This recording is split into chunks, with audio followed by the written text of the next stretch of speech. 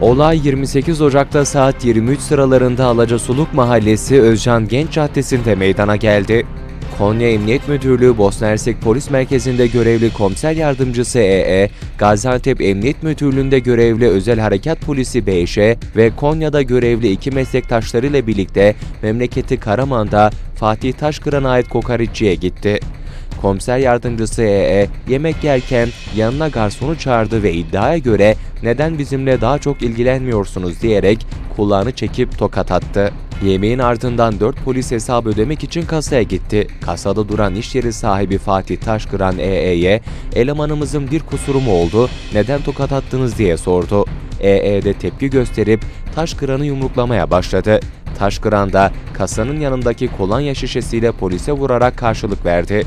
Bu sırada polislerden biri kavga önlemeye çalıştı.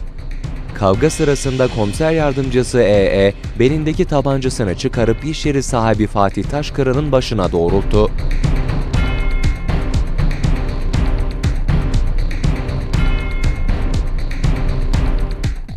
EE'nin tabancayı çıkarması üzerine diğer müşteriler korku ve panik içinde dışarı kaçtı.